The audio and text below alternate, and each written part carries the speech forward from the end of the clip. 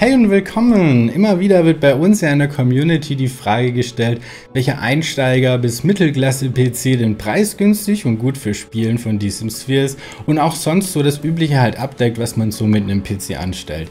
Ich habe daher mit dem Rat von ein paar Experten Computer für euch ausgesucht, die wir guten Gewissens empfehlen können. Das günstige Einsteigermodell der AMD Ryzen 5 und eine Vega 8 Grafik. Wenn der Geldbeutel bei euch nicht ganz so locker sitzt, dann ist der AMD Ryzen 5 sicher die beste Wahl. Für ausreichend Power, um diesen Sphere ja mit immerhin mittleren Einstellungen und in Full HD spielen zu können, sorgt eine Vega 8 Grafikeinheit auf dem Chip.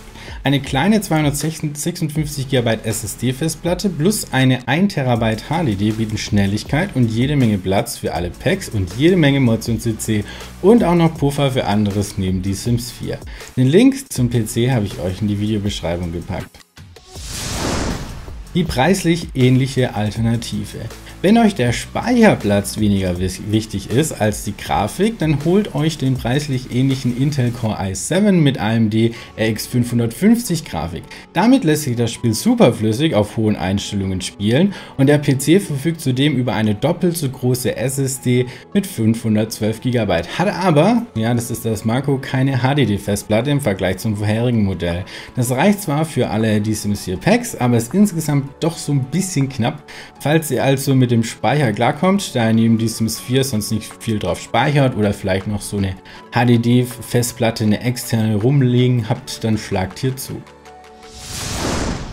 Darf es ein bisschen mehr Grafik sein? Das gute Mittelfeldmodell der Intel i7 und GTX Grafik. Die Sims 4 lässt sich bei diesem PC in Ultra-Einstellungen locker mit 60 Bildern bei Full HD Auflösung super flüssig spielen. Der PC mit Intel Core i7 Prozessor und der viel schnelleren GTX 1650 Grafikeinheit bietet ebenfalls schnellen SSD Speicherplatz mit 512 GB. Das ist ausreichend, wie gesagt, für alle Packs, aber insgesamt dann doch so ein bisschen weniger Speicherplatz, vor allem auch beim günstigsten Modell, wo ja noch die HDD-Festplatte drin ist. Ja, und High-End, hier wer noch etwas mehr Power und Speicher will, das Top-Modell mit Ryzen 7 und GTX Grafik. Die Sims 4 lässt sich damit locker auf Ultra-Einstellungen mit 60 Bildern und mehr in 2K Auflösung und sogar noch mehr spielen. Hier wird ein schneller AMD-Prozessor mit einer Nvidia GeForce 1650 Super Grafikkarte kombiniert, die beide noch mehr Leistung bieten. Eine schnelle 512 GB SSD plus eine 1 TB HDD stecken da drin. Diesem Rechner Rechner geht so schnell nicht die Puste aus und wenn ihr neben dem relativ genügsamen Die Sims 4 noch etwas grafikintensivere Spiele zockt dann und reichlich Platz auch noch natürlich haben wollt, dann ist das die beste Wahl für euch. Ihr merkt, es ist gar nicht so einfach. Hier seht ihr nochmal alle Modelle im Vergleich. Jetzt steht die Qual der Wahl an. Alle Computer bieten übrigens satte 16 GB RAM Arbeitsspeicher, Windows 10 Pro sowie alle gängigen und ausreichende Anschlüsse wie HDMI, USB 3.0, DVD-Brenner, WLAN und Co. sind auch mit drin.